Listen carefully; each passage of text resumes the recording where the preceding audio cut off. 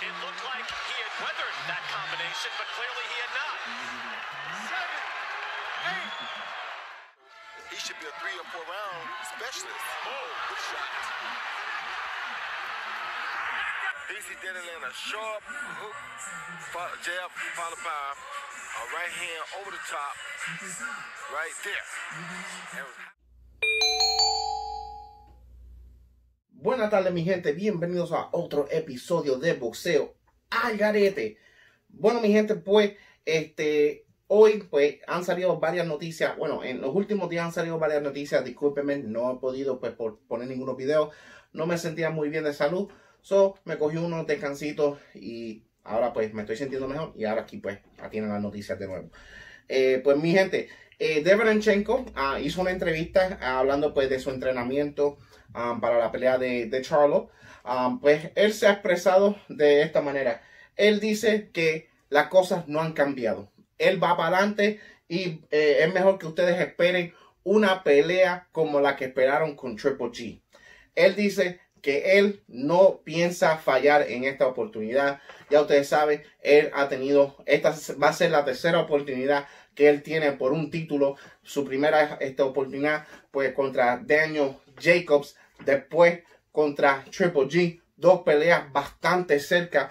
Muchas personas creyeron que él ganó las dos peleas. Otras personas definitivamente pensaron que él ganó la de Triple G. Yo personalmente creo yo que la de Triple G fue bastante cerca y se, se fácilmente se podría dar a Derbanchenko eh, mirándolo de, de una manera de las tarjetas y no contando pues el knockdown que tuvo a- este, al principio de la pelea, que eso fue lo que le pasó en ambas peleas eh, de Daniel Jacobs y Derbanchenko. Pero él dice que en esta pelea va a estar trabajando en su defensa, que va a estar trabajando que él no quiere estar en la pelea, um, básicamente pues tratando de, de cachar este, en puntos ya pues cuando lo tumben, eh, tratando de pues eh, ganar pues eh, rounds para pues borrarle ese knockdown a los jueces de la mente básicamente. Pero él dice que esperen el mismo clase de pelea, él dice que no, no está cambiando muchas cosas, que solo que está añadiendo pues un poquito de más defensa, pues para obviamente no cometer los mismos errores que cometió con Triple G y también que cometió con Daniel Jacobs. Now, en esa pelea creo yo que sería más similar eh, emular lo que él hizo contra Daniel Jacobs, ya que pues Daniel Jacobs tiene más o menos el mismo tipo de cuerpo y tamaño que tiene un Jermel Charlo. So, hay que ver, mi gente, hay que ver cómo se da esta pelea. Definitivamente él dice que él está preparado, él dice que va a ser una guerra y que él espera que, que, termine en, su, en su favor, obviamente.